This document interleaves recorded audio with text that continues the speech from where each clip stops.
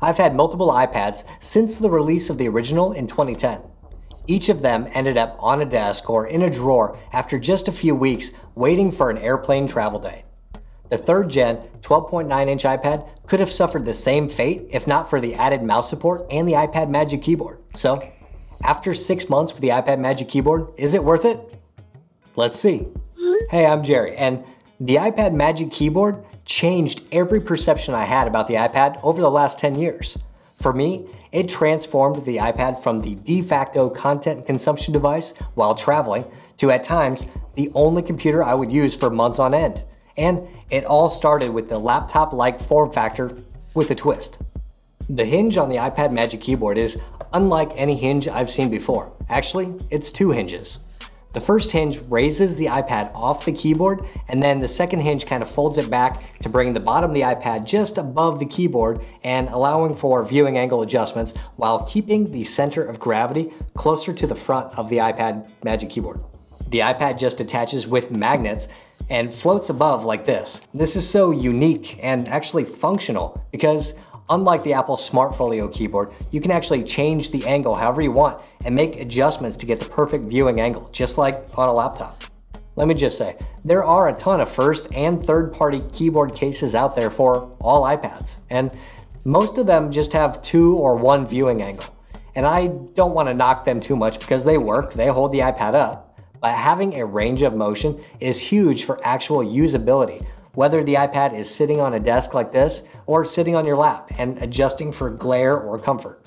Now, let's talk about keyboards. It feels good.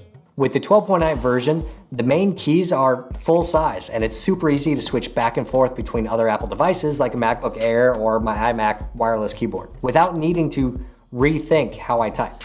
As explained before, there is a lack of function row keys, which is a little disappointing because it would be nice to be able to adjust the brightness or the volume from the keyboard, but I'm guessing it has something to do with the overhang of the iPad. When I type with the top rows of letters, I frequently hit the iPad with my fingers. For some strange reason, as I type, I stretch out the other fingers that I'm not pushing the keys with, and they rub against the bottom of the keyboard. It's kind of annoying, but I think it's my fault more than it is Apple's. It's a bit distracting, but at least it doesn't throw my train of thought off anymore like it used to. I do wish there was more distance between the iPad and the keyboard to avoid this.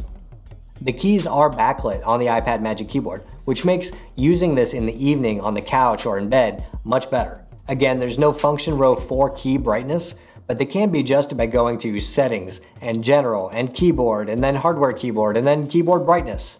That is a bit annoying. But because it uses the ambient light sensor of the iPad and it automatically adjusts the brightness of the keys based on that, I find that I rarely need to actually adjust the brightness manually. One last thing about the keyboard is that it's pretty comfortable to type on when sitting on a desk. And I think it's because of the very low profile of the lip.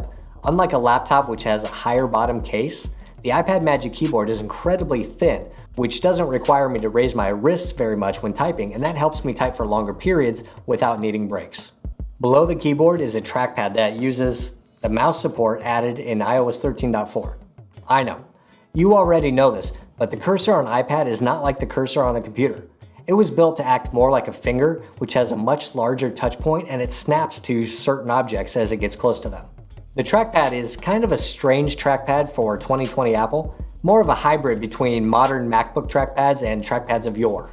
It is a fully glass trackpad with multi-touch that can be used to swipe between apps or home screens, scroll in any direction, take you home, and just adjust settings. You can still click the trackpad anywhere, unlike an old diving board style trackpad, but like the old diving board style trackpads, it is mechanical. It's not like Force Touch on the MacBooks and the Magic Trackpad 2. It's pretty cool how it works, but I do find that it requires more pressure to click compared to Apple's other trackpads, and when using it for a long time, I start to feel a little fatigued in the hands. Maybe it's some kind of placebo effect, but I'm not a fan of the trackpad click on this guy. You can enable tap to click on the iPad settings, which I have, and I prefer to use that as much as possible. Oh, and the trackpad is a bit on the small side. Usable, but nowhere near the size of Apple's other trackpads and a hair smaller than the Microsoft Surface keyboard cover. On the rear left side, Apple added a USB-C port for pass-through charging. This port can only be used to charge the iPad and cannot be used with accessories, and that's totally fine with me. Having that extra USB-C port is really helpful when actually using the iPad and charging at the same time. The power passes through the pogo pins on the case to the smart connector on the iPad. The back left location is actually much better than the middle right side of the iPad. It keeps the cord out of the way and keeps the iPad USB-C port available for accessories as needed, like for an SD card reader or an SSD or an Ethernet adapter or HDMI adapter or a USB-C hub for all of them. It's a small thing, but the extra USB-C is super helpful. So that's really all of the features of the iPad Magic Keyboard. But let's talk about a couple other things. First, the rubbery material it's made of. It looks really nice brand new. It's a matte finish with a tackiness that keeps the iPad where you put it. Over time, it starts to pick up grease and oil that gets harder to remove. I've tried Goo Gone, rubbing alcohol, Dawn dish soap. They seem to help for a while, but eventually stains from your skin or tables or wherever you set it just start to sink in. This, along with worrying about scratching or tearing the material, somehow gave me anxiety about actually just using it. I found that the best thing for me was to cover it in a skin, and a comment on the channel pointed me to the SopiGuard skins. The skin was very easy to apply, and I was able to cover the front, back, and insides of the keyboard in about 20 minutes. And it makes the iPad Magic Keyboard feel like a completely different device. Not only does it have a much different look, but it actually feels more durable and nothing's going to stain this thing like it will with the rubber. I do want to point out that I did damage my iPad Magic Keyboard when I was making my six week review video is like that. Oh.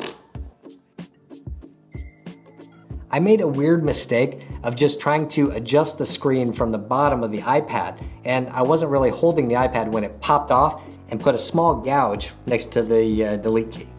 I know that scared some people off and they decided not to buy the iPad Magic Keyboard because of that, but when you actually use it, you can clearly feel that you should be adjusting the iPad, the angle of the iPad from the top of the iPad. The iPad really does stay put exactly where you put it. It stays on the case with the magnets and has never fallen off unexpectedly. As far as durability in that respect, I don't see it as an issue.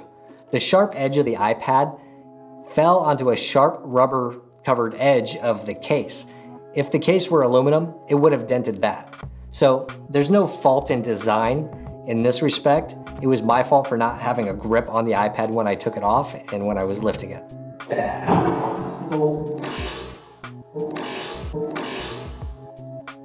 Then there's the weight.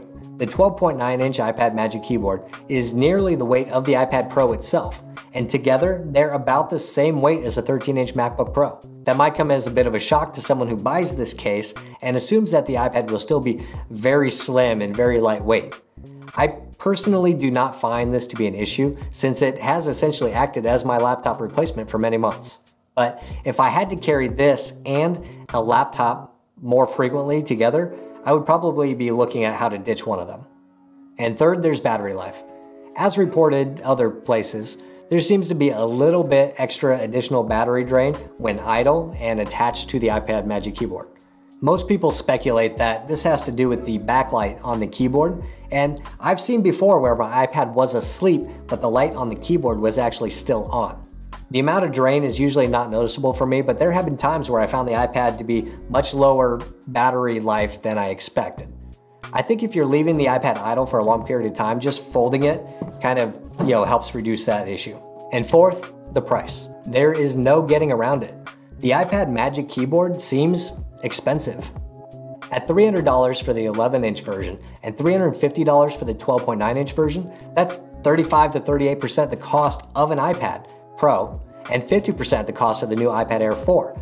How can a keyboard be worth that? Well, sure, you can get a $15 Bluetooth keyboard and a $20 mouse and add a case, but that's a pretty clunky solution. You can look at a third party like Logitech, which offers a case with a built-in trackpad for cheaper, but it's bulkier and takes up a larger footprint on the desk. And no other case offers an additional charging port.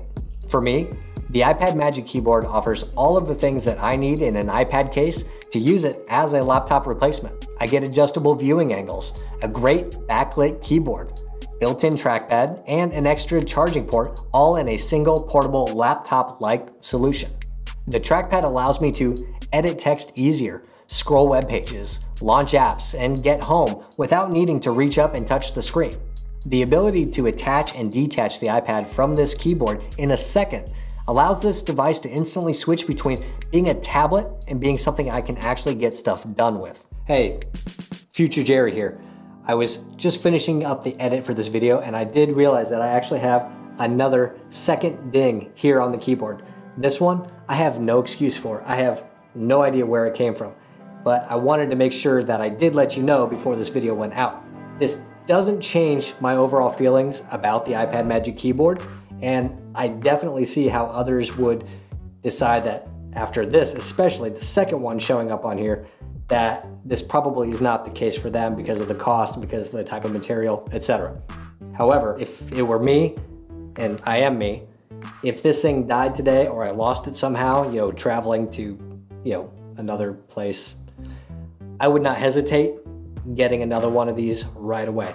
The utility of this, the design, the features that this offers, and the compact all together package makes me still want to go out and buy another one if I needed to, despite some issues with the casing and apparently some other dings. Back to the show. So the bottom line is, yes, the iPad Magic Keyboard is worth it. After just a few hours of using it, you can see how one accessory can transform your iPad from the original content consumption device to a clear content creation device. But hey, what if you actually want to use your device outside or in a very bright location? Well, you can install a matte screen protector like I did, which gives you an anti-glare display and a better texture for writing with the Apple Pencil. And if you're looking to see more about that, you can check out this video right over here. Hit the thumbs up button if you liked it, hit subscribe if you want, and I'll see you next time.